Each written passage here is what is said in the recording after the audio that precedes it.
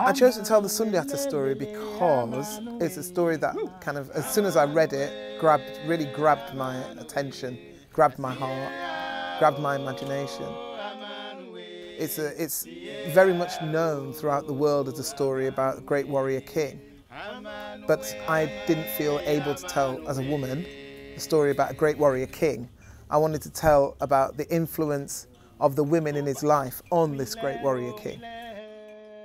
So there's all kind of the, these kind of stories of these three women that intertwine and cross that I found really, really fascinating and therefore decided to tell it the way we've told it. I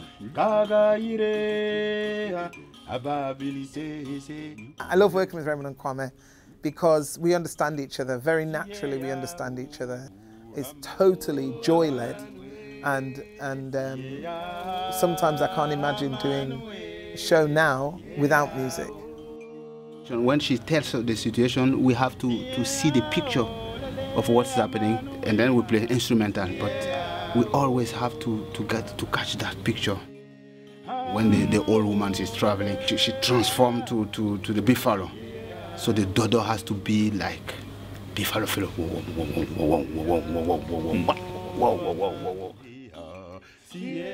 When I'm doing it, I'm just in a joyful state. So we're in a state of joy and we take that on stage with us.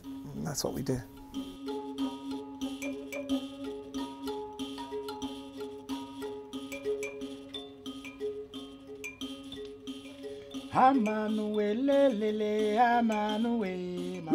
Mama